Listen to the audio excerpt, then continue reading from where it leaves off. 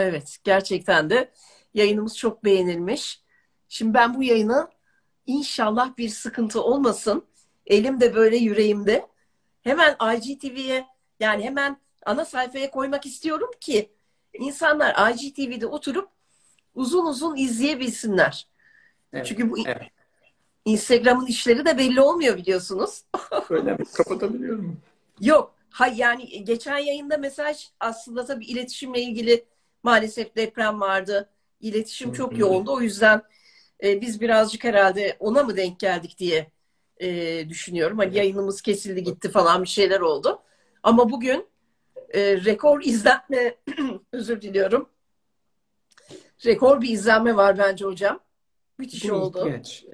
Bu, bu bir ihtiyaç. Ben bir baba- ben babayım. Dört tane Evet. çocuğum var. Allah bağışlasın. Maşallah. 51 yaşındayım. Ee, belki e, e, yaşamım hep pedagojik öğretiler içerisinde gezindiğinden dolayı bunun ne kadar önemli olduğunu kendim fark ettiğimden dolayı, kendimde bu bilgi olduğunu düşündüğümden dolayı e, bunu ben paylaşmayı arzu ediyorum. Ama bu bilgilerle her anne babanın tanışması lazım geldiğinin önceliğinin ne demek olduğunu da biliyorum. Kesinlikle öyle.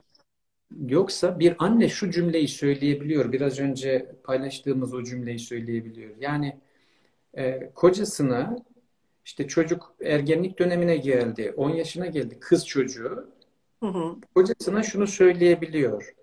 Çocuğa sarılma, çocuğu öpme, nefsin akabilir. Nefsin kayabilir.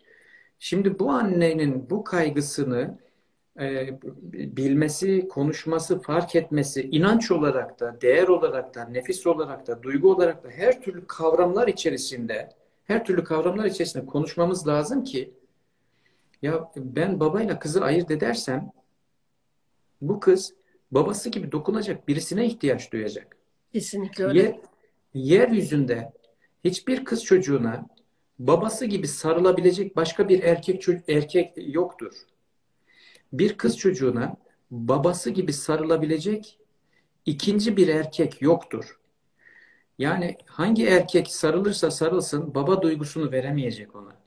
Dolayısıyla ben onu eğer eşimden eksik tutarsam e, çocuğuma nefsin akar diye bir. Ya Evet. da kız kısmı sever mi ile eksik tutarsam ya da o benim avrat, o benim karı neyini seveceğim diye eksik tutarsam ya da o öğretimin içerisinde gelmişsem hayır zarar vermiş olurum, zarar vermiş olurum. Evet.